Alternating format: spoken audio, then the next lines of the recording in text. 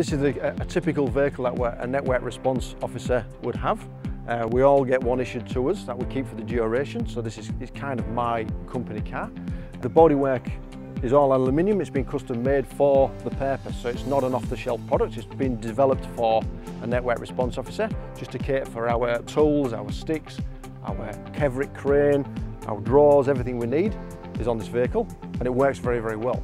So it, it is actually a response vehicle in that it has lights and it has sirens and it carries a similar sort of weighting as, as uh, the fire brigade, DFES and, and the Yambos. We will only choose to use our lights and sirens in the event of a genuine emergency.